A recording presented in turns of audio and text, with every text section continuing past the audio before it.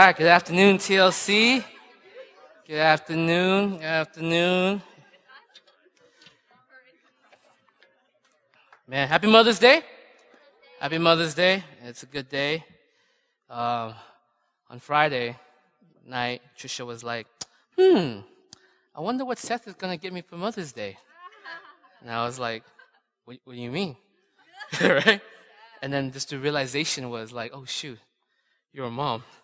Oh, no. so I was like, hey, so what do you want Seth to get you? Like, I don't know. What does Seth want to give me? and I'm like, game over. game over. So make sure you take care of your moms. Take care of your moms. Okay? I am the worst with gifts, you guys. But, um, man, but take care of your moms. Love on them. Okay? Today, take them out. Show them they're appreciated. All right. My name is Tony. I am a young adult pastor here at TLC. Glad to have you. Glad to have you. It's a good day. Uh, man, what do we have in store for you guys? We are in the book of Acts. We're in the book of Acts. It is the series on touching the city. We really want you guys to be a part of uh, going out, engaging, and being a part of this city, right? And the story of Acts is the story of the origin of the first church and what they did. And it's an amazing story. And as we, as we get into the origin of these Christians, you know, who they are, their characteristics, um, I want, I want to share with you guys a principle today, okay? Principle today is it's called necessary but not sufficient. Necessary but not sufficient, okay? And it means something like this. For example, let's say I live in a town, and in this town, all doctors must, must wear a white coat, okay? Now, anyone else can wear a white coat, but all doctors must wear a white coat. So if I'm a doctor, what's necessary? White coat, right? But if I have a white coat, does that necessary, does that, is that sufficient enough to say I'm a doctor? No, okay? That's necessary, but not sufficient. And so in the same way, okay, a lot of times people come and they ask, I, I ask them, usually after high school, when they leave and they go off to college and they kind of fall away from the faith, or maybe they graduate from college and they start working and life is actually hard, right? And they kind of start far away from the faith. And so I asked them the question, so what happened? You know, what's going on? I, I tried it. I was a Christian back then. You know, I, I, I did the stuff. And so I asked them the question usually, what does, what, does it, what does it mean for you to be a Christian? And they'll say something like, I, I went to church. I believed in the teachings. You know, I sought to live a good life, right? Now, what you don't realize is that those things are necessary, but they are not sufficient. They are necessary, but they are not sufficient. Let me, let me tell you what I mean. Like, yes, to be a Christian, it means that you should know the doctrines. You know, our, our men's group, uh, just shameless plug, our men's group, what we've been trying to do for the past year, right, is go through the doctrines. We've, I think we got past God. We're in the Holy Spirit right now, right? It took about eight months, but you know, it's still good, right? We're slowly going through it. I have, I'm patient, and so eventually all of our guys will know the doctrines, right? You should know it. But you know, realize, you realize something else? The Bible says, James says, the demons know it. And they shudder. Actually, they know it better than you. Right? So yes, to be a Christian, you should know the doctrines, but it's not sufficient enough. Because why? Even demons know. Even demons know. Secondly, yes, to be a Christian, you should have live a good life. But guess what? There are plenty of people who also live good lives. It's necessary for a believer to have a life that reflects holiness and godliness, generosity, self-sacrifice. It's necessary. But just because you do it is not sufficient to say, I am a Christian. You guys follow me? You guys follow me?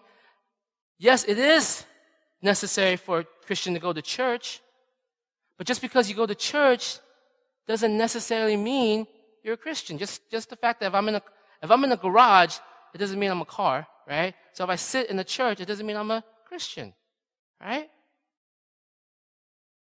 And so these marks, yes, they are necessary, but they're not sufficient for a believer. And so when we look into the story of Acts, we look into the story, we see the origin. It's an origin story, okay, of the first real Christians. The first of them. And we're going to see signs. And if they're the first real Christians, there are very unique signs. And it's not just going to church. And it's not just knowing the scripture. It is not just living a good life. There are very, very unique signs that shows you, that makes you a Christian. Okay? And we're going to talk about these four signs today. I, I always preach in three, three points today. Four points, okay? All right. Four points, four unique signs that makes you a Christian. that you will know that you're a real Christian. Okay? Because you have to ask yourself the question sometimes we leave, sometimes we disappear, and we say, oh, yeah, I did the cool Christian thing. Yeah, but were you really a Christian? Because there are unique signs that marks you. Okay? So as we go through it, let's, uh, let's, let's see. Okay? Acts chapter 4, verse 23. Okay? Acts chapter 4. What's going on here? The beginning of the book of uh, beginning of Acts chapter 4, James and Peter, they were arrested. Right? They preached, they did a miracle, and then the chief priests and the Sanhedrin, they arrest them and says, you better not do it again.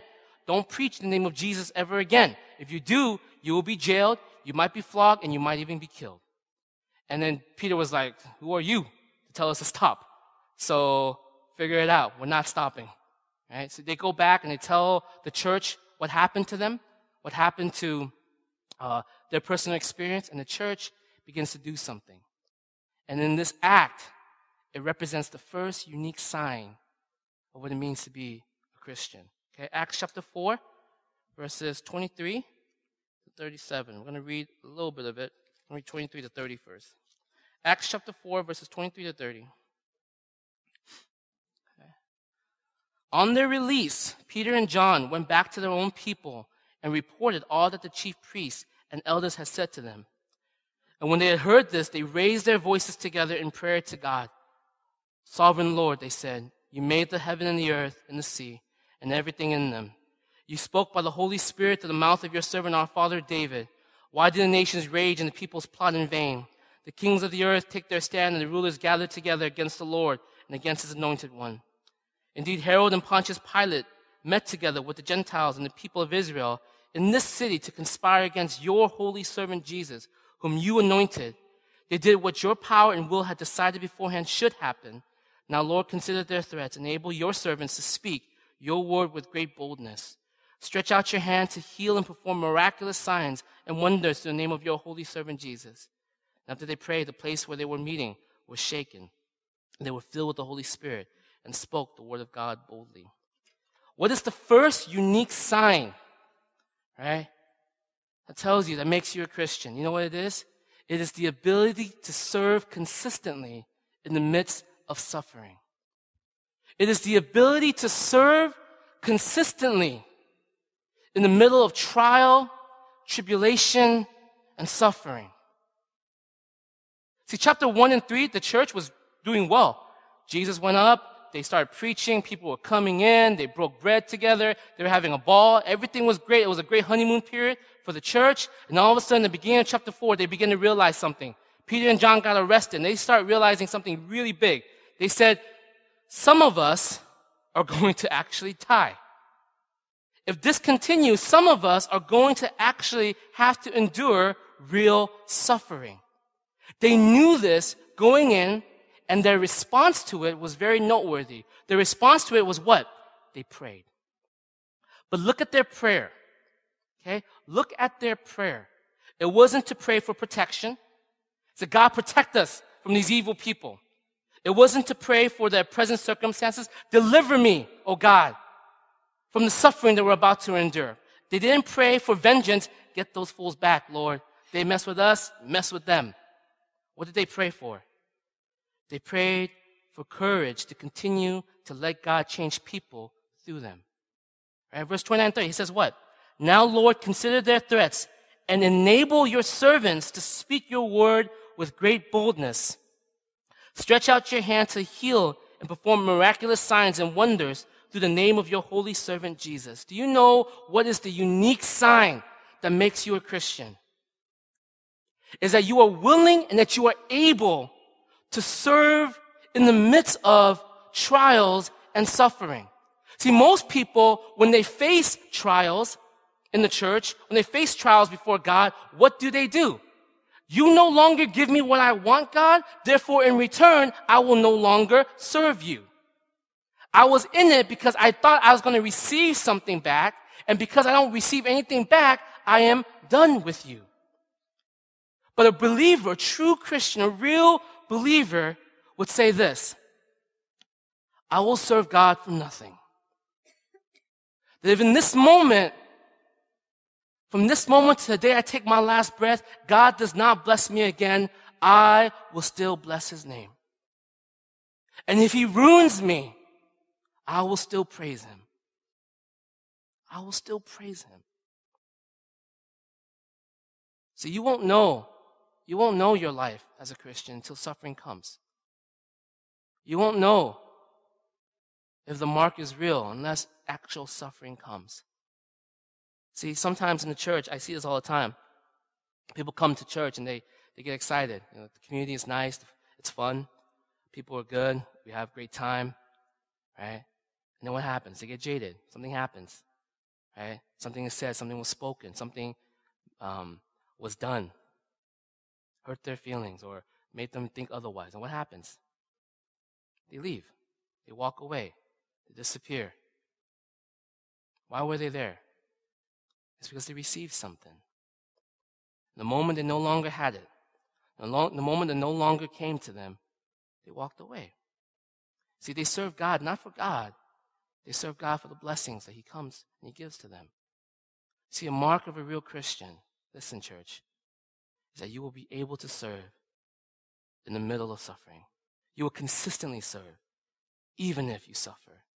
And you know this. You understand this. And yet, I bet you for a fact that you are hypocrites about it. Let me give you an example. If you have a friend, and you and your friend, you, you guys go out all the time, and you hook up your friends, you take them out, you feed them, you, you pay for the most of the stuff, and then one day you stop. One day you stop, and they stop being your friend. They stop calling you up. They stop hanging out with you. What would you say? That person wasn't in it for me. It, was, it wasn't real, real friendship. They were in it because they got something out of it. Because they stopped, it's done. Forget that. Right? You would think that you'd be bitter, you'd be angry. And yet, you would allow the same thing to happen before God. You think that it's okay for some reason before God. That you can serve Him, that you can do things with Him, for Him, as long as there's something in return. And the moment He stops, the moment suffering comes, the moment things get hard, you stop. Why? Because it wasn't Him. It was the blessings you got from Him. You didn't serve God for God, you served God for what He can give you. See, in the book of Job, right, that was the devil's number one, was his number one accusation to Job. God said, Look at my servant Job. Is there anyone like him? And Satan was like, Dude, you blessed him. You hooked them up. Take it all away. Will Job serve you for nothing? Will he do it for nothing? Will he still call you God for nothing? And the whole book of Job, Job was like, ah, God, why, why, right? But he always still did what? Oh, God. He never walked away. He didn't walk away. Because it wasn't about what he received. It was about God being God. Right? See, people, a lot of us, a lot of Christians, when they leave the church, what happens is what? They didn't serve God for God. They served God to get something out of it. Okay? And the question I have to ask you, simply, okay? And this is the origin story. This is not me. This is the origin story. This is the first marks of the real Christians here. Can you serve God for nothing? Can you give this life with full knowledge that you will get nothing in return? Can you consistently serve Him if He does not bless you again? Do you serve Him for nothing?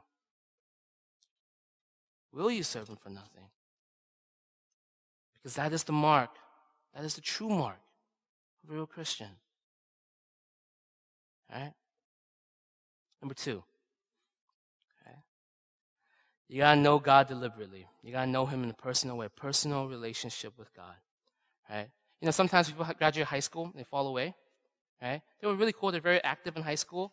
They did a lot of things. They did the Bible studies. They, they prayed. They went to the services. They went to the retreat. They did all those things. And you're like, yo, this person's really active in the church. But you know, when they get to college, they fall away. Right? Or in college, they get really active. They go to missions. They did stuff on campus. They did all these things. But then when they get into the work career, all of a sudden they fall away. Why? You guys want to know why? Because it is very possible to have a second-hand relationship with God. It is very possible that your relationship with God was never personal. It was always kind of like osmosis from everyone else around you. It's because they were passionate that you kind of gravitate towards that passion. It's because they did it. That, That's how you gravitate towards it. But you never actually had a personal relationship with Him. You knew that God died for the world, but you didn't really know that God died for you.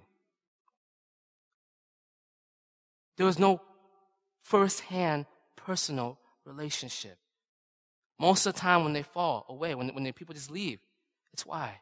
It's because their whole entire time in high school or in college, it was because they were doing second-hand relationships with God. It was never personal. But a relationship, a real relationship, you guys, is what? It's a two-way communication, yeah? You can't have a relationship that's just one way. Relationship is a two-way communication. And look at how this church in the beginning responded. Okay? A two-way relationship, a prayer. Sometimes they, all, so they just pray. What's, what's the big deal? No. A true prayer, I'm gonna blow your mind right now because I just kind of came up, no, I didn't come up with it, but like, you know, it's kind of like, whoa, okay? Anyways, a true prayer, you know what a true prayer is? A true prayer is not you speaking. It's actually you responding, you answering. A true prayer is you answering from something that has been spoken to you. That's a true prayer. See, otherwise, it's just what? A one way relationship. Let me give you an example. Let's say you meet a guy and he tells you this epic story about his life the ups, the downs, the, the, the passions, the, the drives, the, the, the, the beauty, the, the fall, all this. He, he paints to you this amazing story. And you're sitting there and you're listening to it. And you, he's just, he's telling you all like the, the nuances that happen, the struggles of his life, his experiences. And then afterwards, when the story's done, he's finished, he looks at you and you look at him and you say, I really would like a chicken sandwich. Right? What happens? One, either you're a douchebag, right? Or two, you're insane. If someone has spoken to you like that, a real conversation is you would answer back from that context, right?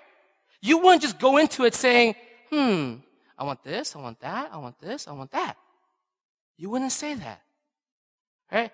I came with this revelation.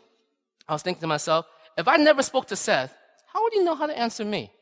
Right? He talks a lot now, right? He talks too much, actually, right? So if I never spoke to him, if I never actually engaged with him, how would he actually know how to answer? His, his thing would be like blah, blah, blah, blah. He'd be just saying just babbles, right? But because I spoke to him, he knows exactly how to answer. His, his conversation, his, his speaking is not a one-way talk. It is an answer to my expression to him, right? Give you an example. It's hilarious. Last night, right? We were putting together the Mother's Day gift, and you know, Tristan went to the shower, so I went and I like grabbed him. I was like, Shh, okay, me, you, paint. He said, okay. Right, so I painted his hand. I did the thing on this, on this stupid cardboard thing, right? And I said, okay, we wash hands up. I said, shh, don't tell mom, okay? He said, okay. Don't tell mom that I give you candy tomorrow. He said, yes, right? Wash hands, threw him in the bed. We're just laying there waiting for mom to come in. And the moment she walks in, he says, mommy, hand, paint, right? I'm like, what are you doing, you jerk, right? And she's like, paint? Paint what? Orange, blue, right? I was like, uh, I said, traitor, stop talking, right? Right? And then he said, he said, mommy, come, I show you, right? And so he gets up out of bed. I'm like, no! He walks over in there, right? I'm like, man, what a punk, right? But his whole entire, his whole entire demeanor was out of what? Me with him first, right? He would never have been able to respond anyway if it was not me connecting with him first. You guys follow me? Okay?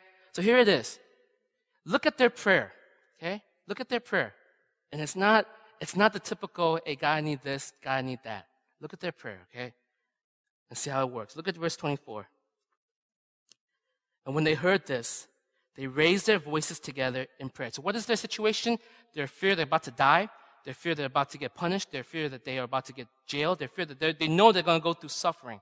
They know this. They have this kind of angst, anxiety, anxiousness wonder and fear. And all of a sudden, their first prayer is what? O sovereign Lord. O sovereign Lord. Who told them that the Lord was sovereign? Who expressed to them that the Lord, who is sovereign, sustains all things in their hands? Who told them that by his word he spoke life and creation? Who told them that by his hand he holds it all together? Who? It was the Lord. And so here they are, wondering about their future, cannot understand what will happen, and they begin to pray not by asking, help me, but they begin by saying, let me answer you. Because you have showed me your characteristic. You have spoken your attribute to me. And so let me answer back. O sovereign Lord, you made the heaven and the earth and the sea and everything in them. You spoke by the Holy Spirit to the mouth of your servant, our father David. Why do the nations rage and the peoples plot in vain? This is Psalm 2. Okay, if you guys know where this came from, this is Psalm 2. They were quoting scripture, the thing that the very word of God is speaking into their hearts. The kings of the earth take their stand, and the rulers gather together against the Lord and against his anointed one. So why would they do that? You are the sovereign Lord. How vain, how foolish nations rise up against you. And we know it, we see it because how? Look at verse 27. Indeed, Herod, Pontius Pilate met together with the Gentile and the people of Israel in this city to conspire against your holy servant Jesus, whom you anointed. You know, when Jesus was arrested, you know, when Jesus was tried unfairly, you know, when Jesus was flogged, when he was put the crown on, when we as believers saw that, we could not possibly imagine anything good that came out of that. We cannot possibly imagine how can these men who plot against you, how can they be winning? How could they possibly be winning? But the answer was what? They did what your power and will had decided beforehand should happen. What did they realize? It was in your hand. Even in the midst of the craziest suffering, it was already in your hand. Not just in your hand, it was already in your will. You willed for it to happen. And what was the result of that will? We come to know the living Father. Right? Verse 29. Now, Lord, consider their threats and enable your servants to speak your word with great boldness. What are they saying? I have seen it, God. I have heard. Now that I am myself about to go through this trial, now that I am about to go through this suffering, now that I am about to be punished, and I can't possibly see a future out of this, one thing I know for a fact, one thing I know is true. As I answer you, is that you have told me that you are sovereign Lord. You have told me that nations plot in vain against you. How foolish of them. That's what you have told me. And so my answer back to you is this, then, oh God, hear these threats and enable me to do your will. What were they praying? That was a relationship. That was a prayer of a real relationship. It wasn't, I need this, I need that. Now, are you allowed to pray for needs? Of course. The Bible, the Lord asks for it. But their primary prayer was not, give me protection, deliver me from my circumstances, give me vengeance. Their primary prayer was, let me answer what you have spoken to me. I have heard, and now I have seen. Right? They were scared. They were scared. But can you hear their prayer? They were praying for their healing. In their very prayer, they were finding their healing. Imagine, I no one, none of us has actually faced death before. I mean, like, personally, I hope not, right? To a point where we're like wondering the future, how, how bad things can possibly get. We, are wondering all the, none of us got that. But they were there. They were wondering, what is going to happen? I'm going to suffer. I'm going to possibly die. I'm going to probably be thrown in jail. What future is there for me? And they say, O sovereign Lord, O sovereign Lord, you who hold all things in your hands, I'm not afraid. Because what looks like the nations plotting in vain and winning, it was your will from the beginning. O sovereign Lord. See, a relationship is two ways, right? See, the, the unique sign that makes you a real Christian is this one, are you able, can you serve consistently in the middle of suffering? Though he slay you, right? Will you praise his name? Though he take from you, will you still bless him? Though he ruin you, will you still declare that he is good? The second unique sign is that you have a personal relationship with Him. It's personal. It actually is to you. You're not secondhand from anybody. It's to you. He's spoken to you and you know he's spoken to you.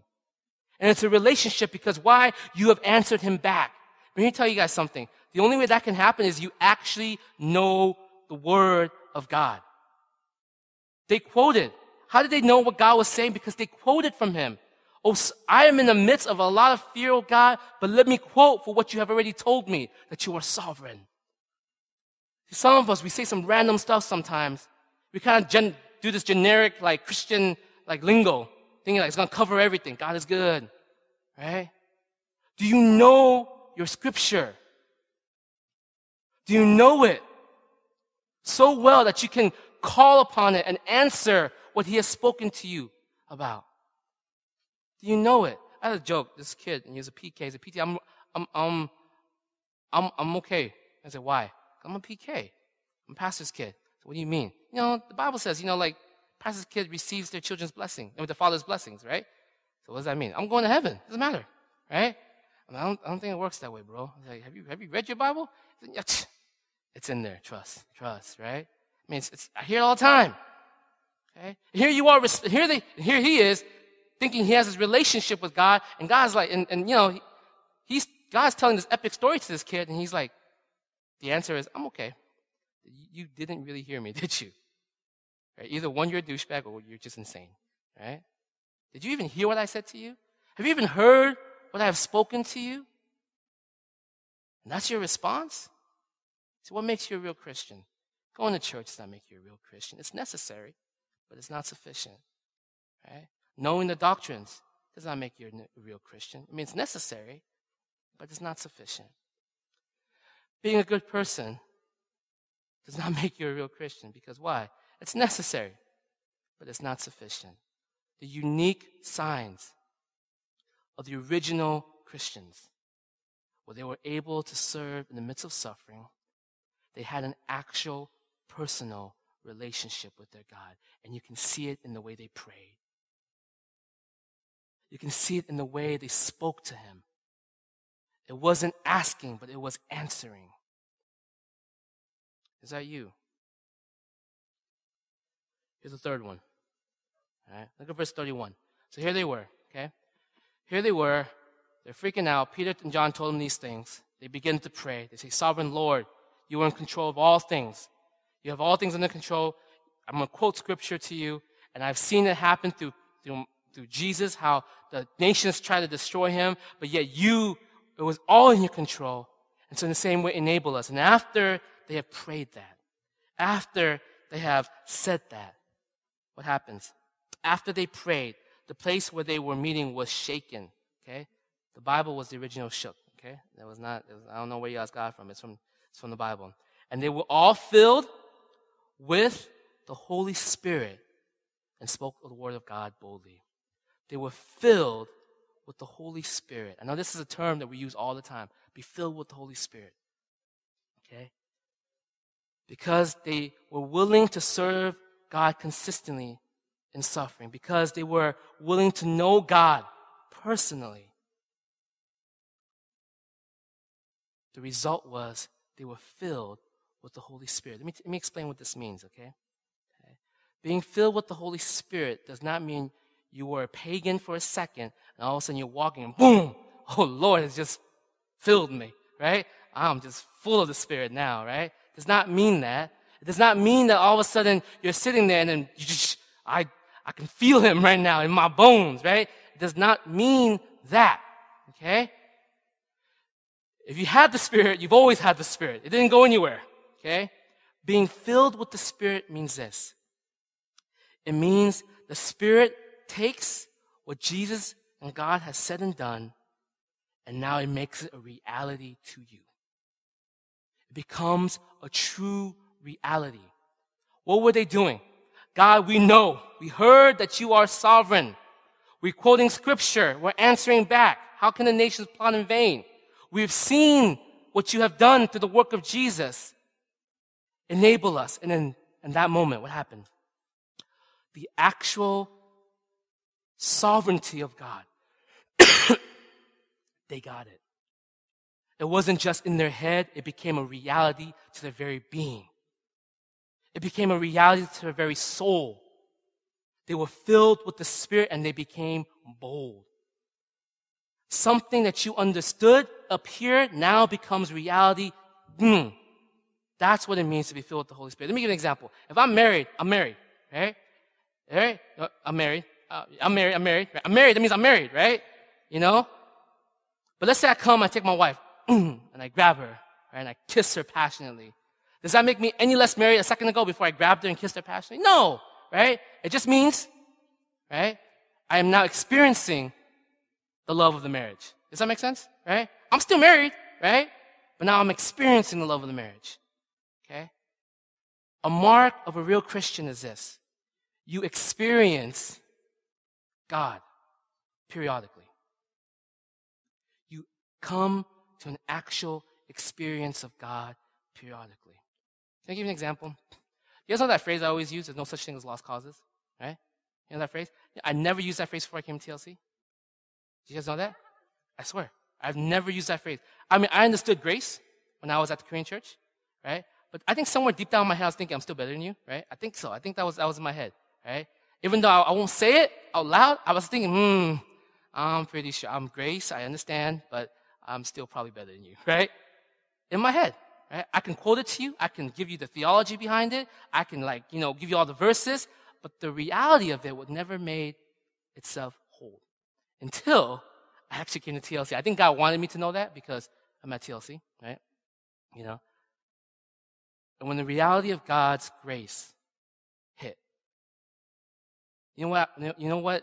I was, I remember I was sitting there and when the reality of His grace hit my heart, you know the first thing that came to my mind? The first word that I said? I am a lost cause. I was the lost cause. And so, how can I possibly ever look at a brother or a sister and ever imagine them to be the lost cause? To ever say that they are the lost cause? And when that reality hits, right? That's when I begin to say, you know what? Let's give the benefit of the doubt to our brothers and our sisters. Let's love them, right?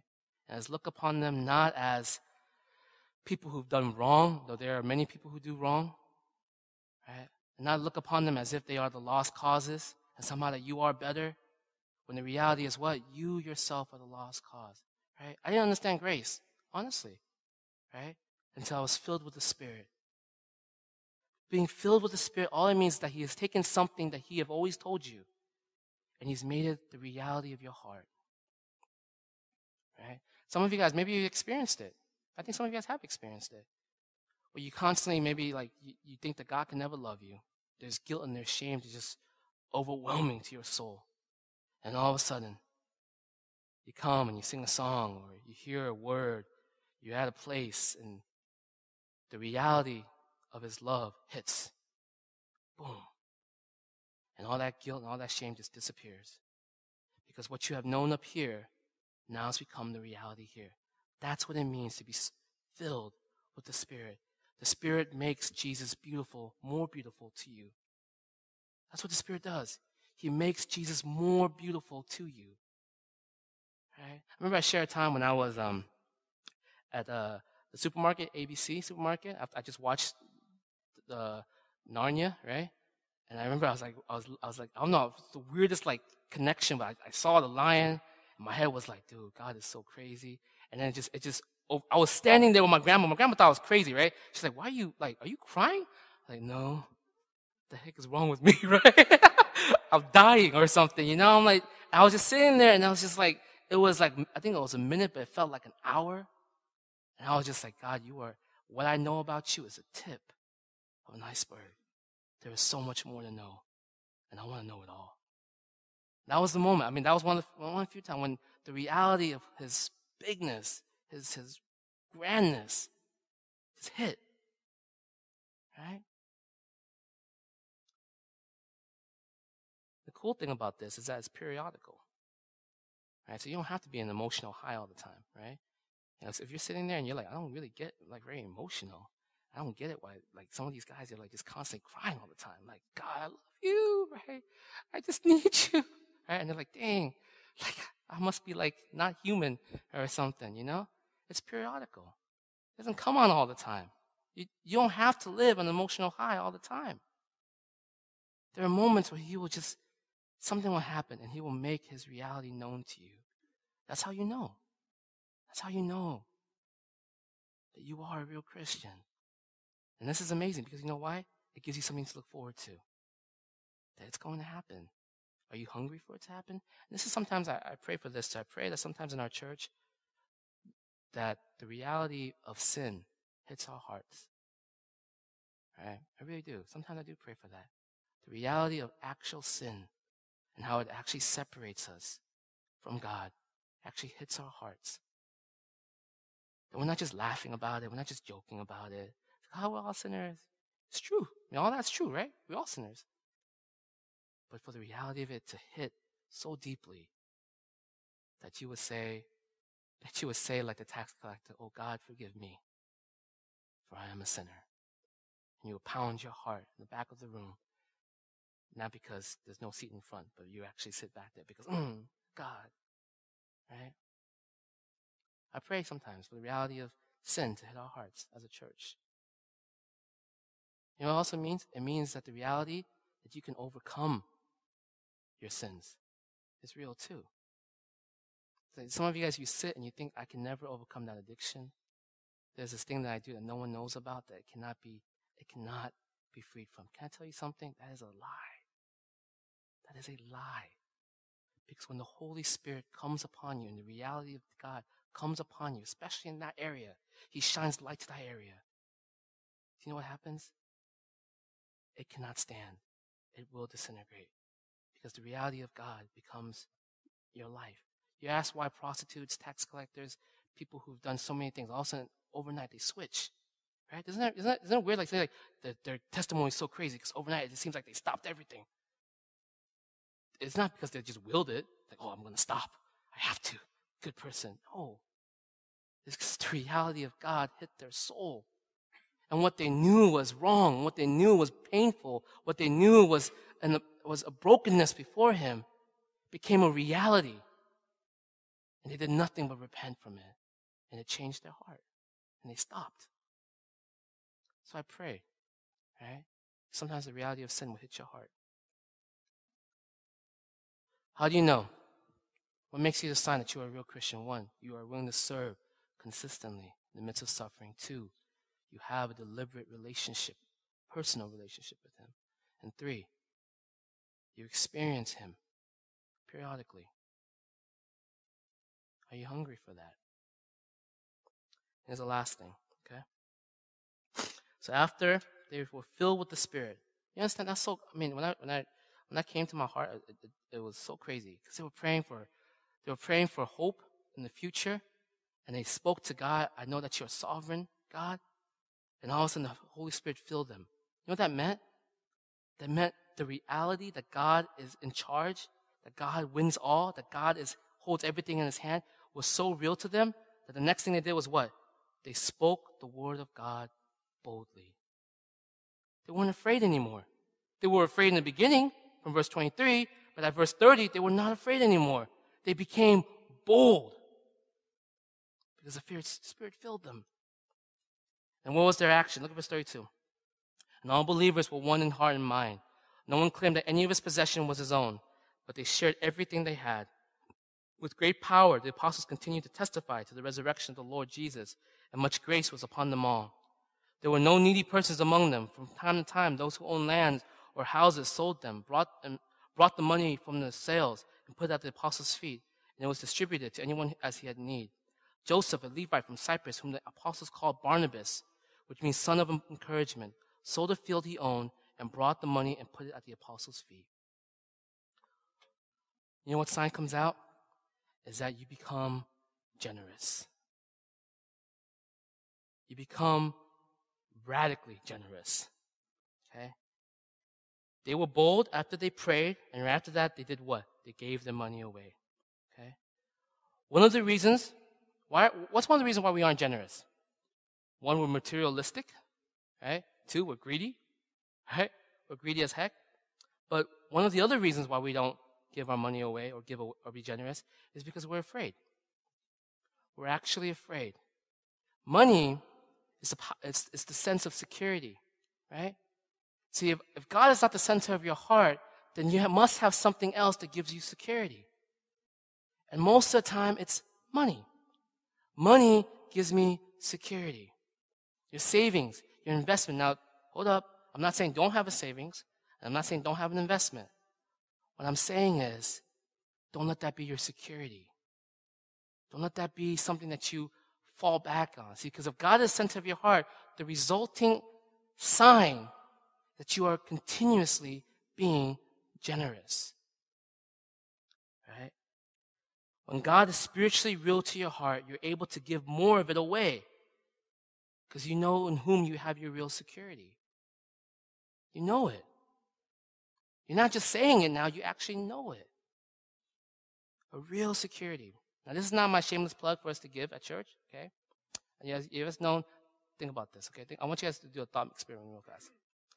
If you learn to be generous and you give generously anywhere else, I'm okay. If we have to downsize TLC, I'm okay.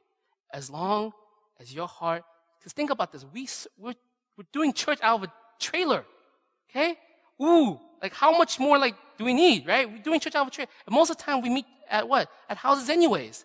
We don't need anything crazy. I don't mind if we downsize. So, and I mean that with all my heart. So it's not about, it's not about whether you want to give TLC or not. My heart is this. If you learn to be generous and you give generously to save a kid, you give generously to save the world. I don't know. You give generously for something and it's consistent.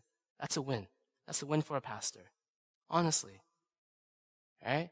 If we can't pay our mortgage, it's okay, right? It's, I think one of our houses is as big as this. We can meet. It doesn't matter.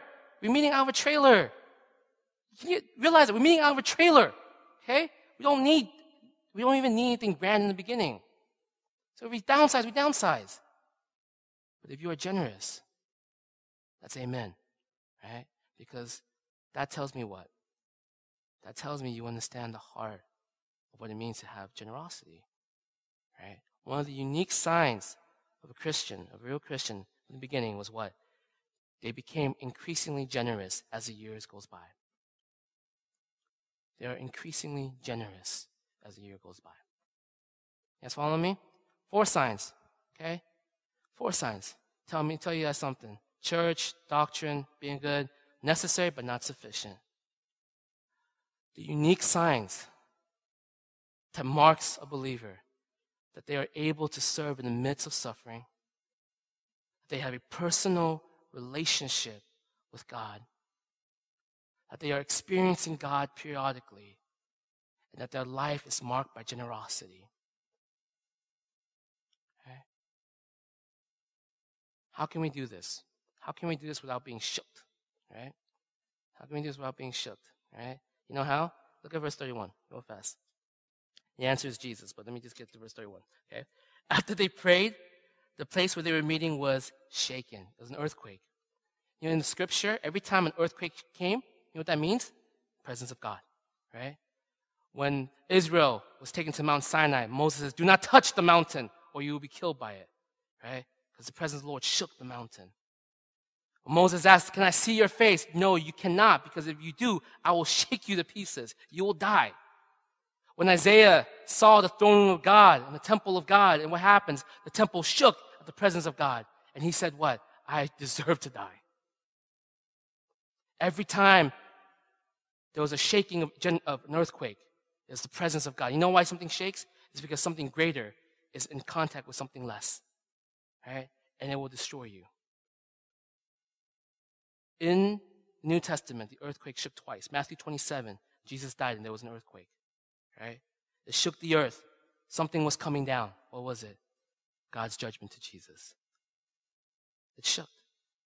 The earth shook as God's judgment came upon Jesus. He says, My God, my God, why have you forsaken me? And he breathed his last breath, and the earth shook. The temple veil tore. right? Temple veil tore, right? On Easter Sunday, the earth shook and the stone was rolled away. What was shaking? Death was being shooken. Shooken. Is that a word? Shook is not a word, huh? Shooked. Death was being shooked, right? You know what that means? This is what, think about it. every time earthquake comes, the response of the believer, the response of, the, of a person who knows God was fear. The earth shook in this verse, and what happened? They became bold. Why? Because Jesus was saying, I was shook so that you would be unshakable. Okay? Was that a joke? I was, oh, I'm sorry. I actually wrote that. I was shook so you would be unshakable. Okay? You're ruining the moment right now, okay? I got what you deserve so that you can know his love and be unshakable. The believers were unshakable. That's how they were able to serve consistently in the midst of suffering. They were unshakable. That's why when they spoke, it wasn't about what they needed. It's about, let me answer to what you have told me, God. They were unshakable. That's how the Lord met them and they did not die. They were unshakable. That's why they were bold and say, What I have is yours. It's not mine. Jesus says, I was shaken so you would not have to be. Yes, follow? All right, let's pray. Shooketh. Let's bow our heads.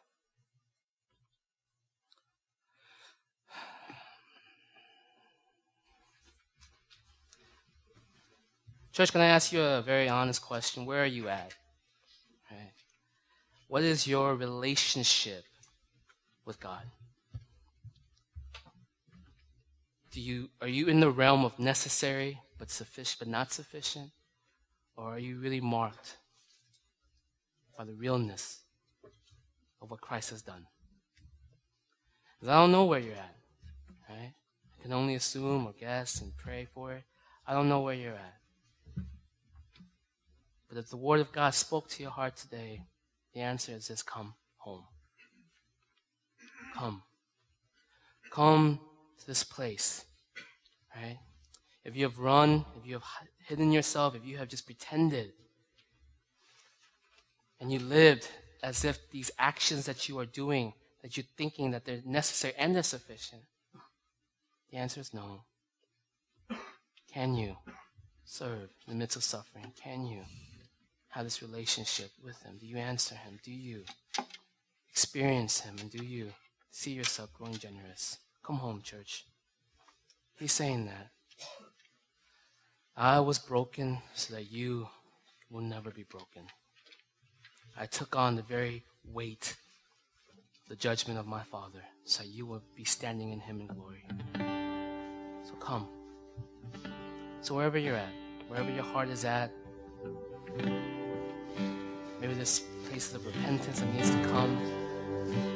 Maybe there's a reality that you're praying that God will make known to you. Maybe there's a freedom in your heart that you're praying, Lord, I need to not just understand it, but God, I, I pray that I will know it in my soul. Maybe it's time to come and ask. Come and cry out to the sovereign Lord. Come and cry out to the God who is the God of all the ages. Come, cry out to your Jehovah Jireh, your Emmanuel. Come and cry out to who He is, what He has revealed to you in His Word. Come and answer Him. Don't speak to Him, answer Him.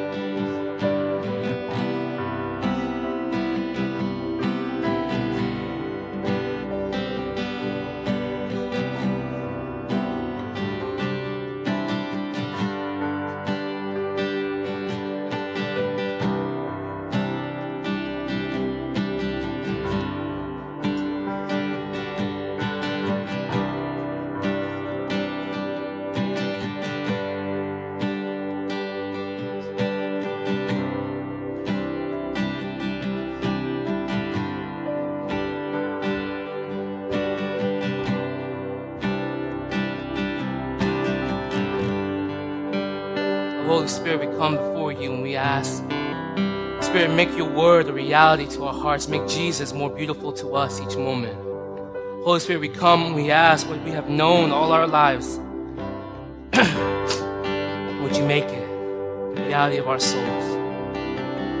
Would your word have spoken to our heads? Would you make it the reality of our hearts? Lord, teach us to be bold. Sovereign Lord, teach us not to be afraid. Why do the nations plot against us, against you? Why do the kings and the rulers think that they can stand before you?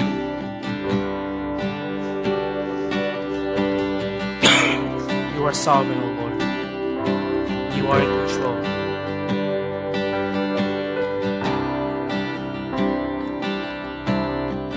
Come be reality to us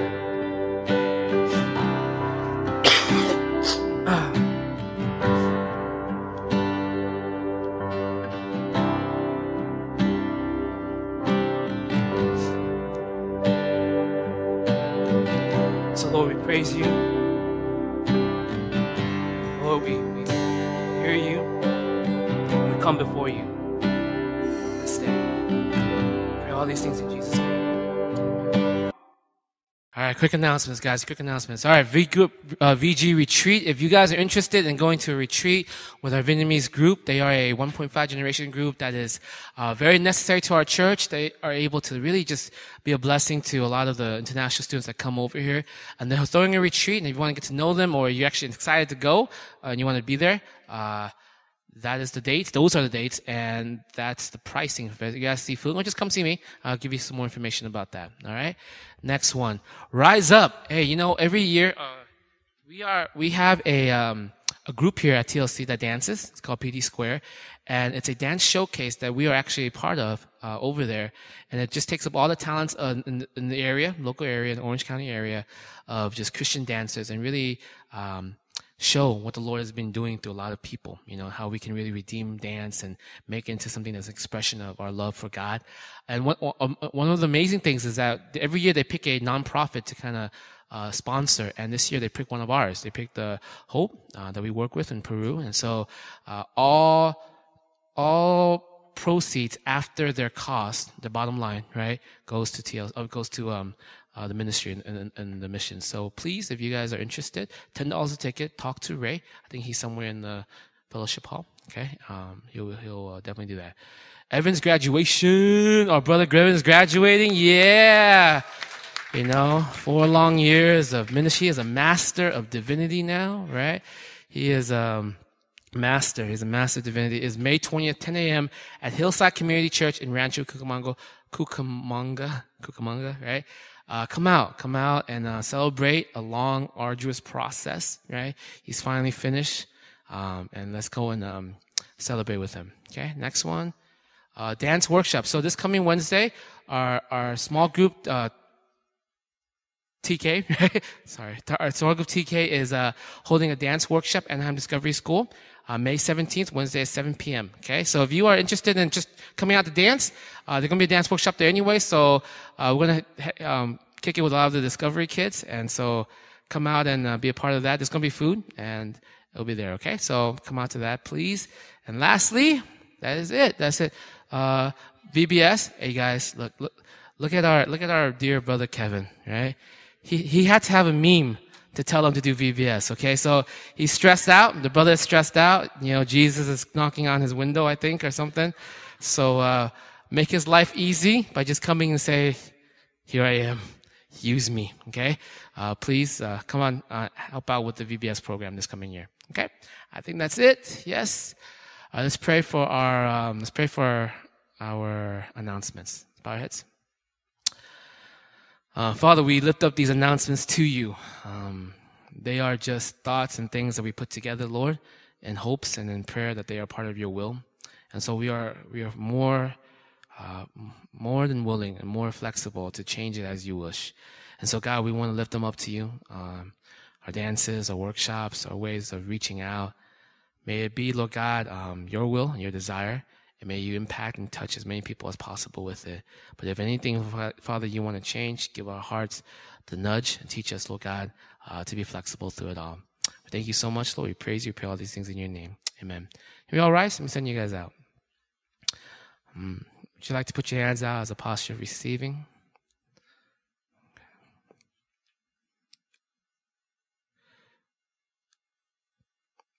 O sovereign Lord, why do the nations plot against you? Why do kings and rulers think that they can stand before you and your anointed ones? Lord, send us out this week with not just with words, understanding in our heads, but Lord, a deep conviction of your reality in our hearts, that we may take it and be a vessel of change to the world around us. We praise you, Lord. We pray all these things in Jesus' name. Amen. Go in peace, church.